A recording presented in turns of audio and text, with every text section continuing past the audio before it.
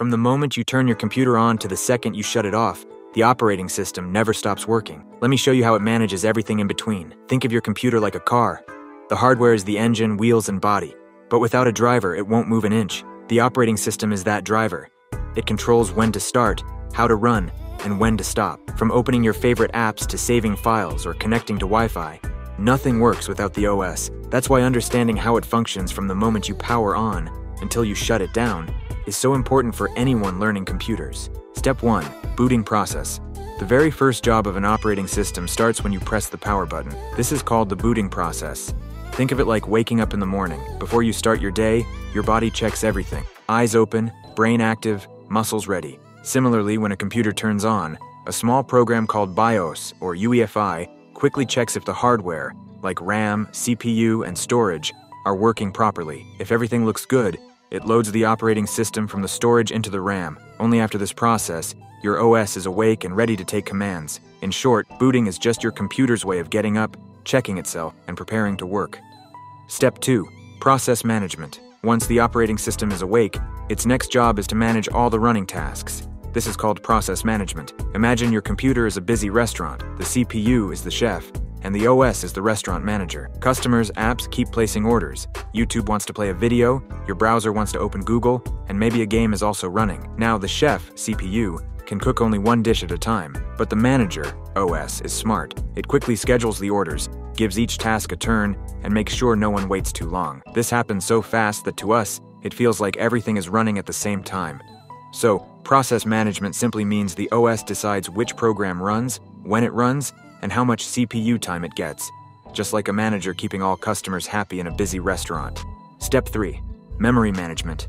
After handling processes, the OS has to manage the memory. This is called memory management. Think of your RAM like a classroom with limited seats. Every app that you open is like a student entering the class. The operating system is the teacher who decides where each student should sit and makes sure no one fights for the same chair. If the class is full but a new student, new app, wants to enter, the teacher may ask some students to step outside for a while. This is called swapping data between RAM and storage. This way, the OS keeps track of who is sitting where, gives every app enough space to work, and makes sure the memory is never misused. Without memory management, apps would crash into each other like students fighting for seats. Step 4 File System Management. Now that memory is managed, the OS also needs to organize all your data. This is called File System Management. Think of your computer's storage like a giant library. The hard disk is the building, and files are the books. But if books are thrown randomly on the floor, no one can find anything. That's where the operating system acts like a librarian.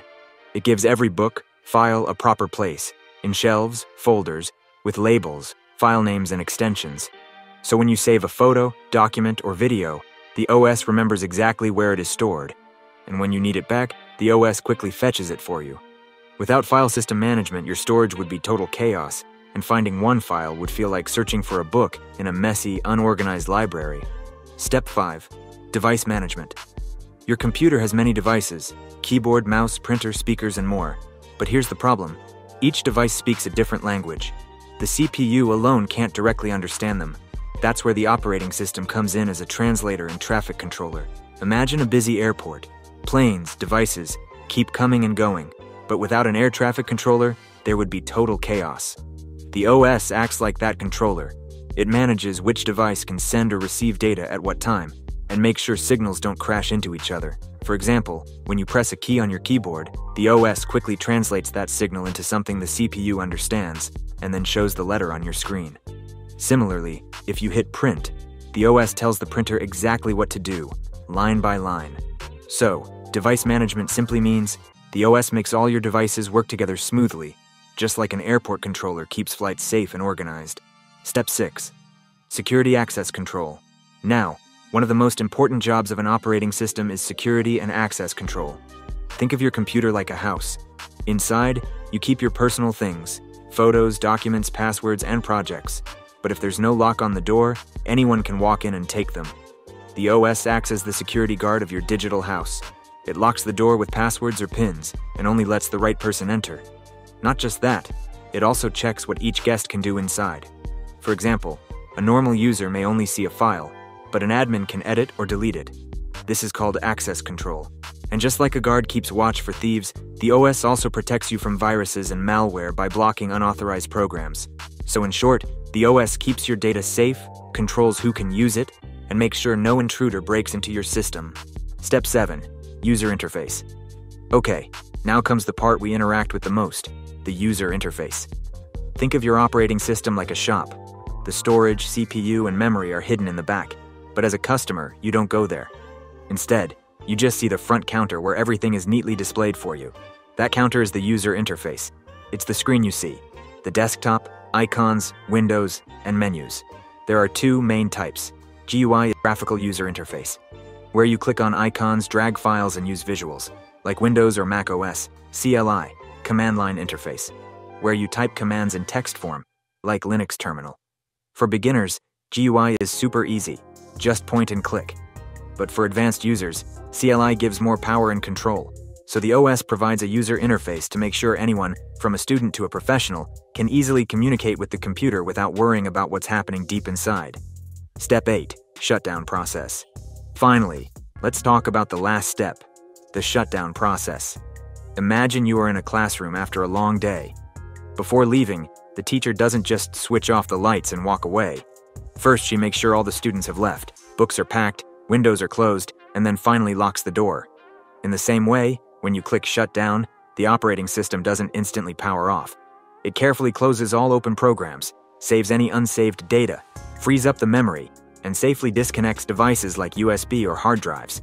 Only after everything is properly wrapped up, the OS gives the signal to turn off the hardware. This is why shutting down properly is so important.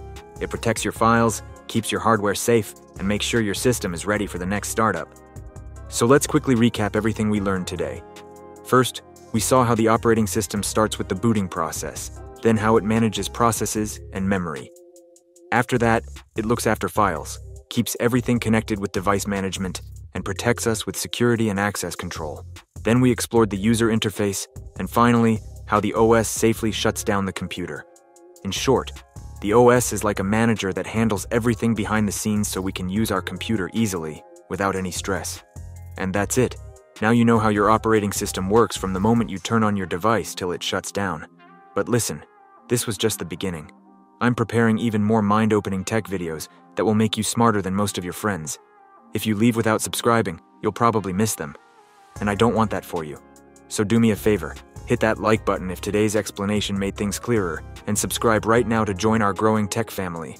Because here, we don't just learn, we grow together.